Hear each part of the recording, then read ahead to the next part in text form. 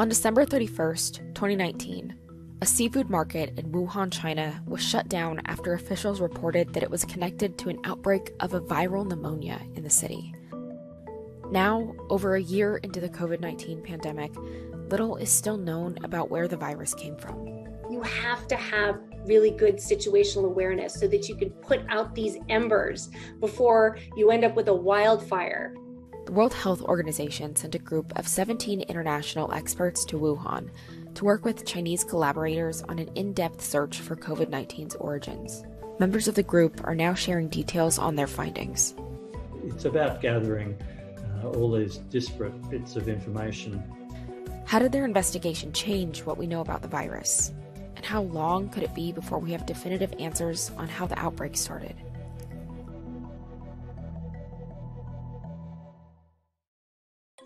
Critical to understand where this virus came from so that we can understand how to stop future outbreaks going forward. It's not about finger pointing, it's just about understanding it so that we know how to do better in the future. Since the first discovery of a mystery virus in late 2019, researchers have been trying to pin down exactly where COVID 19 came from. Their search begins with the seafood market in Wuhan, China, which was shut down on December 31st after doctors identified it as a link between a number of mystery cases of pneumonia in the city. As researchers try to juggle contact tracing, environmental testing, and the challenges of an outbreak, the virus began to spread across the globe. On January 13th, the first known case of COVID 19 was reported outside of China. Two more countries would report their first cases in the next few days, and more would follow. Many initial cases were in people who had recently traveled from China, but as the outbreak grew, local transmission became more common. By March, 100 countries and territories reported at least one case of COVID. 200 countries and territories reported at least one case by April. By early 2021, over 100 million cases were reported across more than 220 countries and territories. So, look back on exactly what happened in China, that was still not very clear the WHO really wanted to get their people in there to figure out what had gone wrong.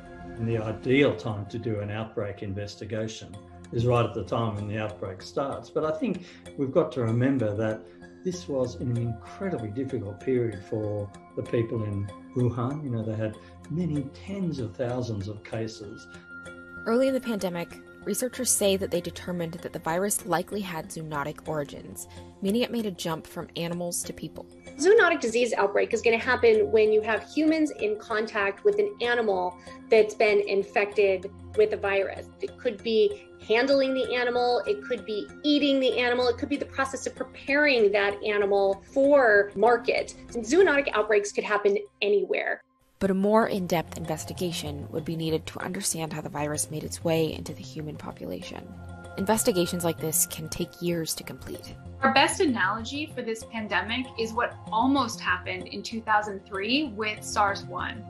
SARS 1 emerged, as best as we can tell, from a bat cave in China, then went to an intermediary animal, and then to humans.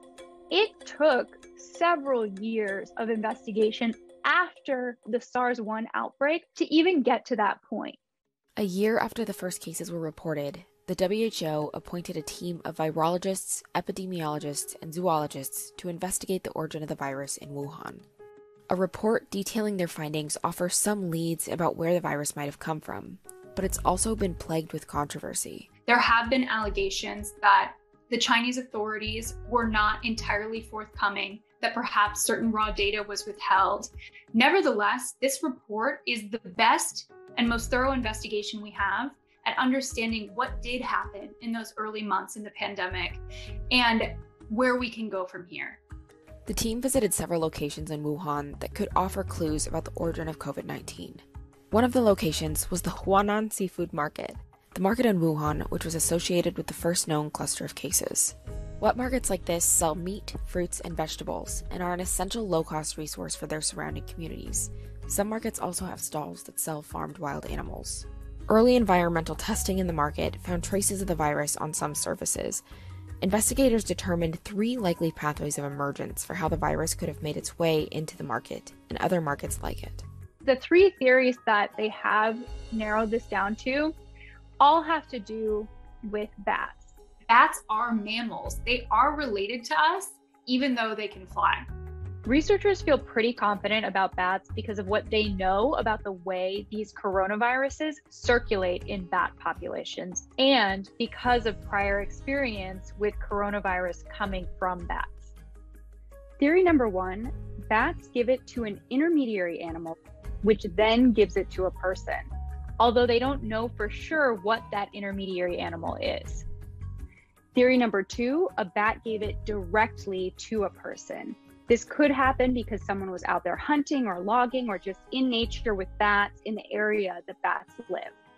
The third possibility is that it started in bats, but then somehow got into an animal that was frozen for food and then transported longer distances. And that would mean that the bat cave or that intermediary reservoir could potentially be farther away. The World Health Organization says that researchers in China have tested 50,000 samples from 300 different species, but none have been positive for SARS CoV 2. They tested wildlife that were coming from wildlife farms in, in the market, and it looks like those animals, some of those animals, were of the type that could carry a coronavirus. So it's not a smoking gun, but it's a clue the swabbing and sampling that was done was done after the outbreak. And what we really want to know is what was there before the outbreak began in early December. Despite the earliest cluster of cases having an association with the market, a large portion of cases appeared to have no connection at all. In order to better understand where else the virus was circulating, another location they visited was the Hubei Provincial Hospital of Integrated Chinese and Western Medicine, where some of the first cases of COVID were treated. Here, and at several other hospitals they visited in the area, they looked at early sequencing data from the virus. Viral sequencing is where we take the genetic material of the virus and determine its structure. It's like contact tracing, but using molecular biology. Like most viruses, SARS CoV 2 mutates over time, and its genetic makeup can change as it's passed between people. If two people have a strain of the virus that have the same sequence, it means that they likely caught the virus from a common source. But if their sequences are different, it means that they likely caught the virus from different places. They may have a common source further back in the history of that virus's life, but its genetic sequence has changed as it's been passed through different people. The more different sequences there are, the more likely it is that the virus had more time to circulate and has passed through more places. If everything in Wuhan in December was exactly the same sequence, then there must have been a common source. But they're not. What was happening in Wuhan in December was already the spread of a couple of different minor variants of the virus. And that again suggests that maybe the virus had been circulating a little bit longer than people had realized. The team also said that the multiple early sequences found likely means that the Huanan seafood market was not the primary source of the outbreak. We know that in the first 170 cases in December, not all of them had exposure to that market. The market was certainly an amplifier, but probably not the actual source of the whole outbreak, as far as we can tell at this stage. One of the final locations they visited was the Wuhan Institute of Virology. This lab and several others in the city were the targets of a politically charged theory that the virus had accidentally leaked from a lab. Researchers have stated that prior genomic sequencing showed that the virus had natural origins, the idea of some sort of bioterrorism event was not even considered. What this investigation is looking for is something like an accidental lab leak. Perhaps a scientist went out into the field, collected a sample, brought it back to a laboratory to be studied, and it was accidentally introduced into the community in China. Lab leaks do occur. Fortunately, they're rare.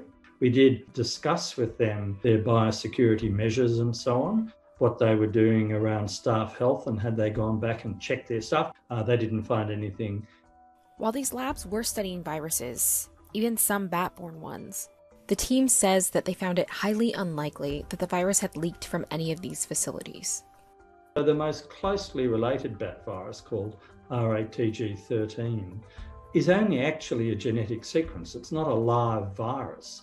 It's hard to postulate then that you could have a leak from something like that. We've not ruled anything out. We can't rule anything out. Science can't rule things out like that. But what we did find is that the lab escape was extremely unlikely. In their report, the team concluded that the most likely pathway of transmission was from a bat to an intermediary animal. We know that there's a whole range of coronaviruses and that a number of these have already moved across into humans, such as SARS, a range of viruses that are related to SARS CoV 2 have already been found. Now, they're still not close enough to be the parent virus, if you like, but it's a suggestion that very closely related viruses are in these animals. However, the team says that they have not fully ruled out any of the theories. This report effectively is laying the groundwork for future scientific research. And so, in the years and months to come, they're giving us kind of a guiding light. Like, let's focus our energy in these, this particular direction because we think that this is the most likely. So, what needs to happen now is the next steps, tracing back the first cases what other markets did they go to, for instance? Trace back to the suppliers of the market and see if they had unusual spikes of antibodies. Animals that we know are susceptible, we should look at where we have concentrations of those. If this pandemic hasn't taught us anything, it should have driven home this point that an infection anywhere is potentially an infection everywhere. So we need really good disease surveillance as population increases, as we encroach upon areas with wild animals, as we continue to have climate change, we will see more viruses jumping from animals to humans, and we're going to see more disease emergence events.